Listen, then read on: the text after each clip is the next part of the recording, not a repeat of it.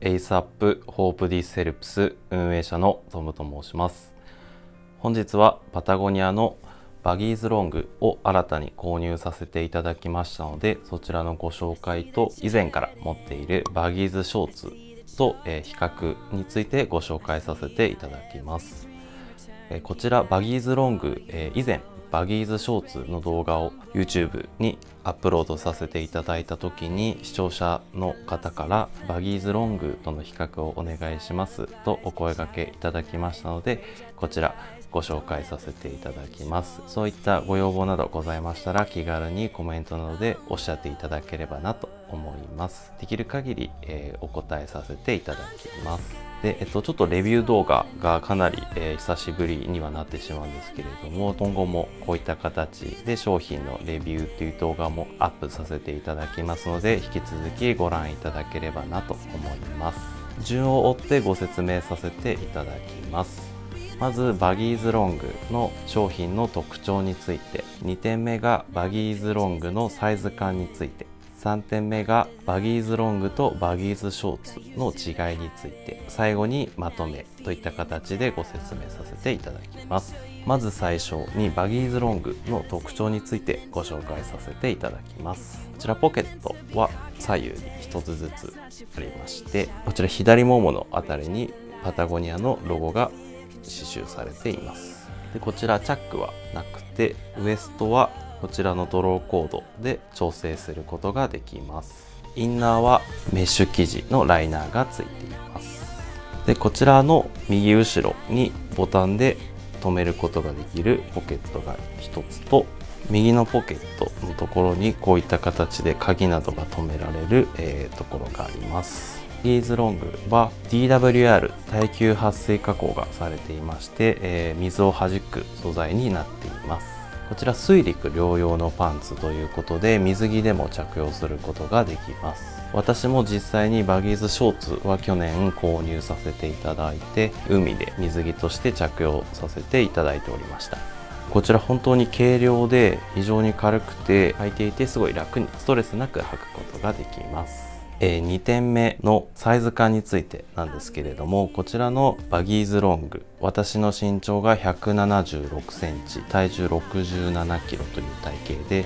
どちらも XS サイズを着用しております。パタゴニアは US サイズですので日本のサイズとは大きめに作られていますのでサイズ感にはご注意してください。実際に着用動画を見ていただければと思います。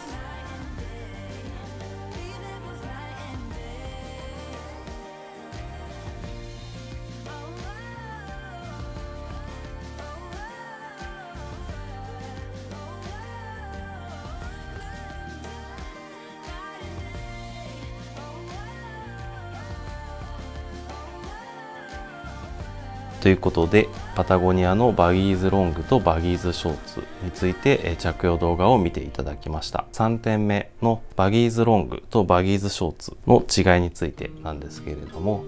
こちらの股下の長さが異なります。バギーズロングは股下が18センチに対してバギーズショーツは13センチですので5センチこちらの2点で差があります。でこちらの股下のサイズは XS サイズから XXL サイズまで、えー、大きくなっていてもまた下の長さは変わることはなくて、えー、18センチ13センチのままでウエストやまた上が長くようなイメージとなっております。ですのでウエストで合わせるのが一番いいのかなと思います。2点目のバギーズロングとバギーズショーツの違いなんですけれども以前のバギーズショーツの動画でお伝えさせていただいたんですけれども iPhone XS なんですけれどもこちらをポケットに入れるとこういった形でポケットの裏地がないので奥まで入ってしまいます。バギーズロングの場合はこちらも同じくポケットの裏地はないんですけれどもバギーズショーツとは違ってここに縫い目があるのでこの高さで、えバギーズロングの場合は止まります。ですので裾の部分のところではなくてだいたいバギーズショーツと同じ深さくらいまでポケットの中身が、え深い形になっています。ですので、え、まとめるとバギーズロングバギーズショーツの違いは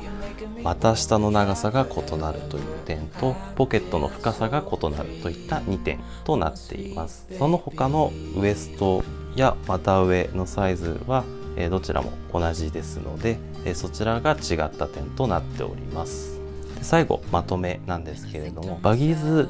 ロングにはあるカラーとバギーズショーツにしかないカラー。